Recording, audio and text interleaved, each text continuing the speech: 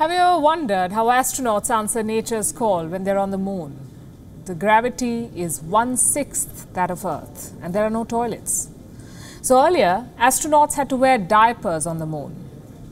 But as NASA prepares to send humans to the moon again, astronauts say they do not want to go back to old ways. So NASA is now looking for lunar loos, and there's a prize money of $35,000 for those who can help design it.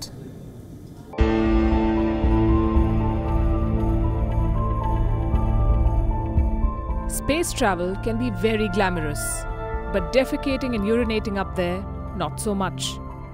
Do you know why? Because there's no gravity. So everything, literally everything, floats. It does not automatically fall on the ground like it does on the Earth. The Moon is quite a challenge too. It has one sixth the gravity of the Earth, which means drop an apple and it won't fall as fast. And there are no exceptions. So, what do astronauts do when they land on the moon? How do they answer nature's call? December 1972 was the last time humans landed on the moon. They were wearing diapers. All astronauts on board the Apollo missions had to pee into roll on cuffs and poop into bags. This is 2020 and the US is preparing to send astronauts to the moon again. But the astronauts do not want to go back to using poop bags, and they're pretty adamant on this. So, facing NASA now is a big, big challenge. It needs a lunar loo. NASA is offering $35,000 to those who help in designing it. What are the requirements? The Loo will need to work in zero gravity space, as well as on the moon. They must be female friendly. FYI, the first space bathrooms were made men only on purpose. It serves for two functions. Number two, right here. I'll show you.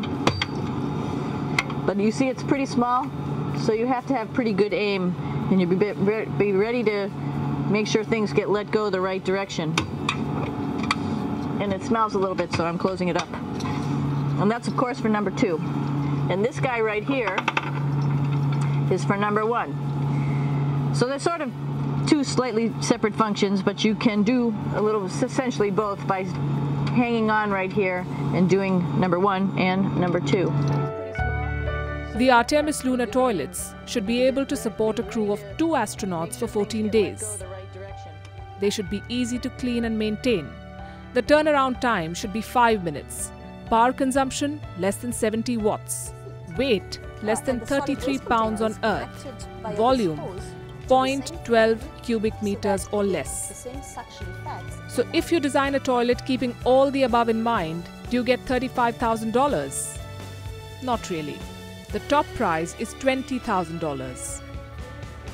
The runner up gets $10,000 and there is $5,000 for the third position. In case you're planning to run for this, we can help you get an edge. There are bonus points for designs that can capture vomit without requiring the crew member to put his or her head in the toilet. Go figure. And before you do that, mark August 17th on your calendar as the deadline for entries. Happy designing! Bureau Report, WION World is One.